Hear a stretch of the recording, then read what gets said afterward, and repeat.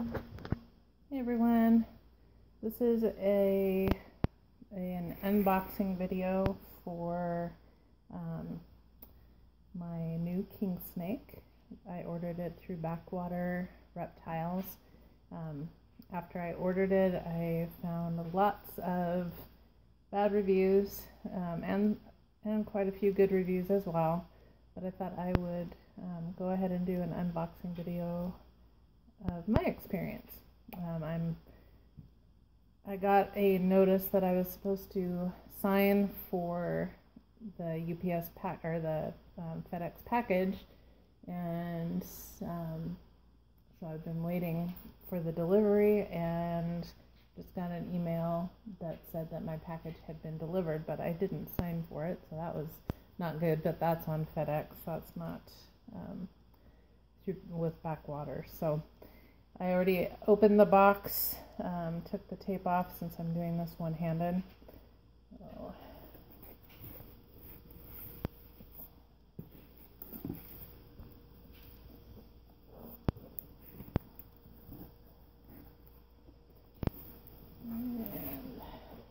Pretty warm outside today.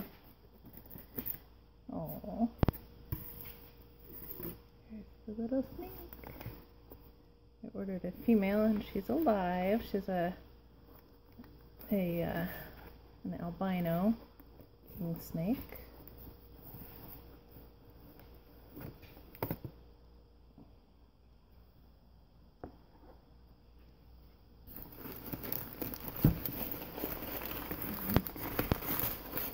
Paper, paper that was packed in there kept kept her little tank nicely uh, cushion or her little container cushion so that she wasn't bouncing, being her container wasn't thrown around all over the place. Oh, she's so cute. Very much alive. It labels it with the with the sex and what she is.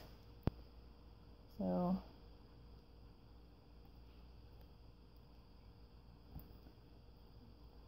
they were uh, really good about communicating with me. There was a one day delay. I ordered actually last uh, Saturday, I think, Friday or Saturday.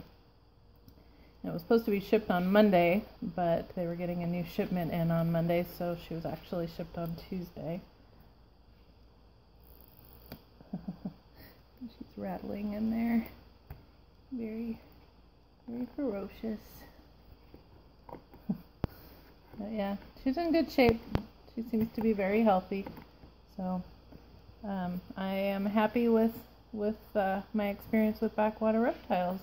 So just wanted to post this and let people know that there are some good experiences.